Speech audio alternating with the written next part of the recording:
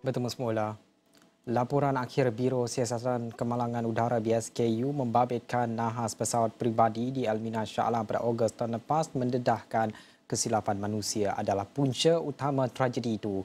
Menurut laporan akhir yang dikeluarkan Biro Siasatan Kemalangan Udara Kementerian Pengangkutan Kemalangan itu berpunca daripada peluasan lift dam spoilers secara tidak sengaja oleh kru penerbangan semasa rutin pemeriksaan sebelum pendaratan.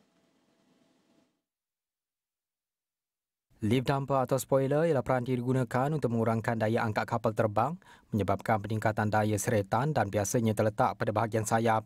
Ia sama ada boleh dibuka atau disimpan semula mengikut keadaan.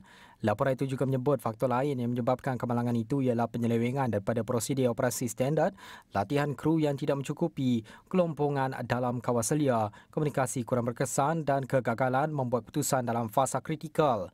Dalam kejadian pada 17 Ogos tahun lepas, pesawat Beechcraft Model 390 Premier One berlepas dari lapangan terbang terbangsa Langkawi ke lapangan terbang Subang sebelum terhempas di Bandar Elmina hanya 2 minit sebelum mendarat.